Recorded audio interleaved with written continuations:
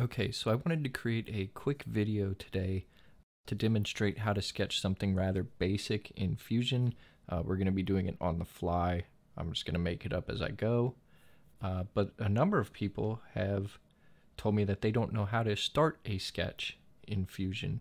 Uh, by default, Fusion kind of works based on 3D primitives, if you will. So you create a, a three-dimensional cube and then you add your details onto that. Um, but if you're working from a, a blueprint, a drawing, another sketch, or you just want to create something from scratch, you're going to draw it first. Uh, so this is what Fusion looks like when you very first start it up. And to start a sketch, up here in the top left, you just click Create Sketch. But it wants you to define which axis, which plane you want to create your sketch in. Uh, you have X, Y, and Z. I always start mine by clicking up here in the top right and I select top. And then I select this uh, this square right here to say okay this is the plane that I want to sketch on. And when I do that it takes us to the sketching environment. It gives us all these two-dimensional tools to work with. Uh, we're just going to do a couple basic ones today um, but you can kind of play around with it. You know, you've got all kinds of polygons, ellipses, slots, text points, lines. But just for the basics today, let's go ahead and select two point rectangle. It's going to ask you to define uh, two opposing corners. So I like to start one at the origin. You certainly don't have to. Click once, drag it out. Let's just go ahead and click the other corner up here. Now, we don't know exactly what size this rectangle is or if it's the size that we want it to be. So up in the top left, we're going to click Sketch Dimension. And we're going to say that uh, this side is going to be, we'll call it 2 inches. So we click this side over here. We drag it out. We click once more currently it's 1.86868452247 whatever.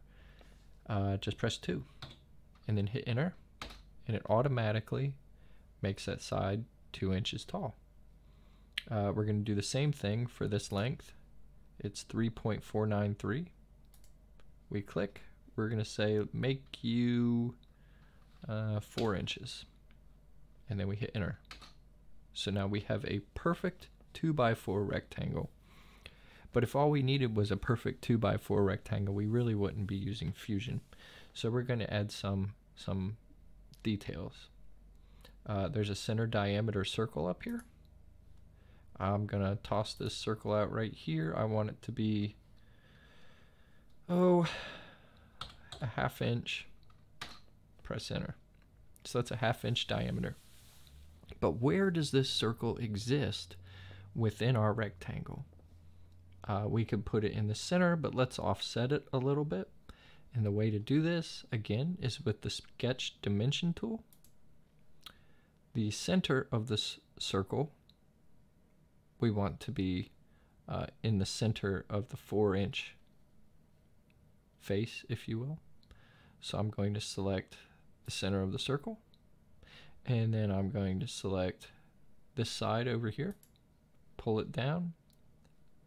The center of the circle is currently at 2.5 inches. Well, half of 4 is 2, so we're just going to hit 2 and press enter. Our circle is perfectly centered uh, on that axis. And we're going to offset it an arbitrary amount from the top. We don't want to just put it right smack in the middle. So we're going to select the center of our circle again, and then this side, Currently it's at 0.32 inches. Uh, let's bring it down to 0.5, half an inch down. Press enter. So now that circle exists exactly a half inch in and exactly two inches over. Uh, there's a couple other pretty cool tools that you can use within this. Um, we can take a line, we can draw it from here to here.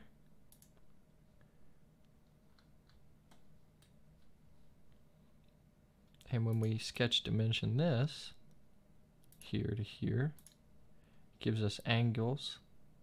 Um, to make this a 45, we want our angle to be 135 degrees. You can use trigonometry to figure that out, but that's another video. We're going to press enter.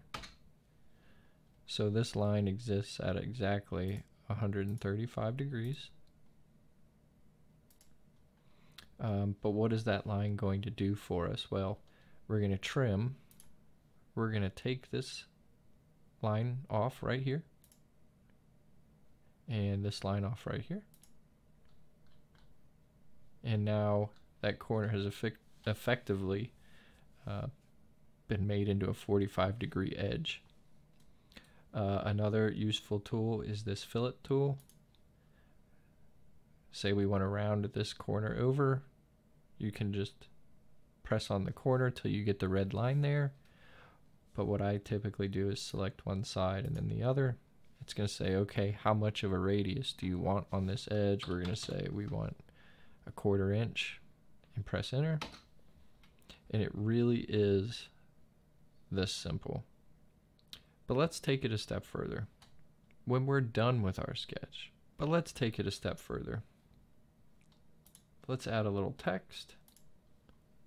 Uh, we'll put it right here. Uh, it's not going to be called sample text. We're going to say top. Uh, bold, Arial is fine, but you can change it to uh, I mean, anything you want, really, but let's call it Bell MT just because that sounds cool. Let's move this over a little bit to right there. Just press OK. Uh, let's finish our sketch. And right now, this is exactly what we have sketched. It is in a two-dimensional plane. So if you're just trying to make a blueprint or get a rough idea of some shapes and sizes, uh, this is enough. But Fusion really excels in creating things for 3D printing or CAD CAM operations, uh, if you're machining it in a CNC machine, for example. So let's bring this into the 3D world. If we just select, you can see it kind of makes the lines bold. If you select this face, it becomes blue. So that is currently the um, profile that we are working with. We can press E to extrude, or we can go up here and click extrude, or we can click create and go to extrude. So here's E for extrude. So to bring this into a 3D realm, um, we have to tell it, okay, what is the z height? We have an x and a y. What is the z height? We're going to call it one inch uh, arbitrarily. Our operation is new body, and we're going to press enter.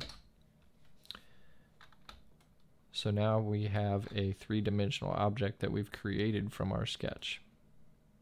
It's two inches long, four inches this direction and one inch tall. Uh, we can see that our hole obviously was trimmed out and our text has disappeared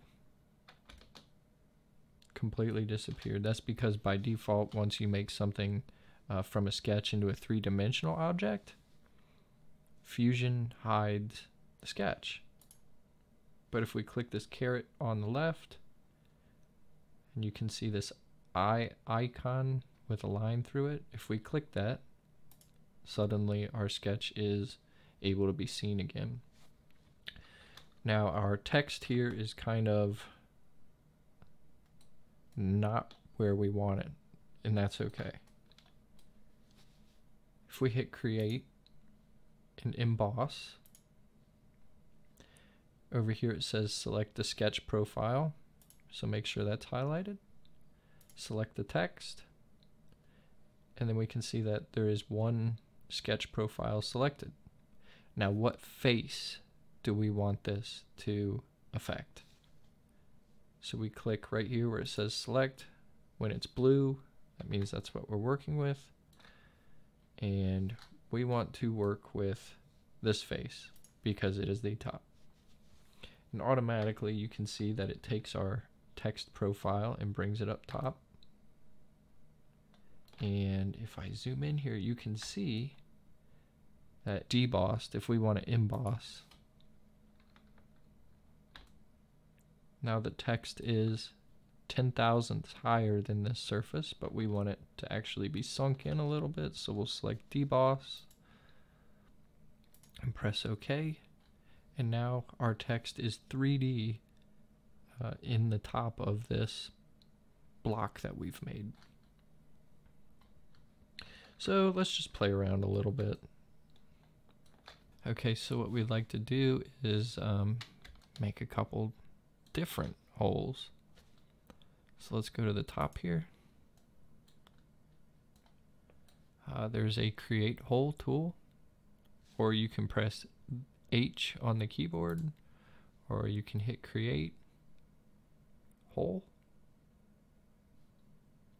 Uh, so let's just do that. It wants to know where the placement of our hole is, so we'll just click uh, right here. And we can drag this around. So our hole type, simple, counterbore, countersink. Let's add a counterbore. And it shows us right here real easily um, the diameter of our hole right here.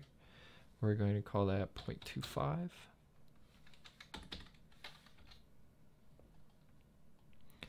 Uh, the diameter of the counterbore 0.5 the depth of the counterbore let's go with um, 0.125 and let's see there's one more Ah, it's only going 0.6 in. So we're going to make this a... Let's not make it a through hole. Yeah, let's make it a through hole. We're going to go all the way through. One inch. Now when we press OK, we've created our quarter inch hole with our counter bore. Let's add a slight chamfer to the inside of this. Um, so you notice when you mouse over certain things, they become highlighted. I'm just going to select this uh, edge of the hole, if you will. I'm going to go to Modify, Chamfer. Right here is where you change how much you want your chamfer to be. Let's do uh, 30 thousandths and press OK. So now we have a chamfered hole uh, that is counterbore. We can go a step further with this. We have a half inch hole right here. Uh, something is going to bolt to that. Right now that is not possible. So we can go to the create menu and click thread. Right here it's asking us to select um, the faces of the hole it will only allow you to select circular faces. So we're going to select this one. Now because this is a half inch hole, it knows that we're going to create a half inch thread. Um, so you can see right here it's already defaulted to a half inch. Um, this is the particular thread pattern. We're going to change it to half inch 13 Unified National Coarse. This is your fit class. You can choose right hand or left hand. Now, right now, if we were to click OK and send this to a 3D printer, it would not have threads in it. Right now, this is only visual on the computer screen. Uh, to actually create the threads, we're going to hit modeled. And now the threads are actually modeled into our piece. So if we were to print this, it would have threads. I'm going to click OK. So now we have a threaded half inch 13 hole all the way through. And I know that we deviated a little bit from um, just sketching and we kind of took it into a 3D realm. So let's go ahead and end this here. Uh, we'll pick it back up at another time. Uh, we'll create a blueprint of this part.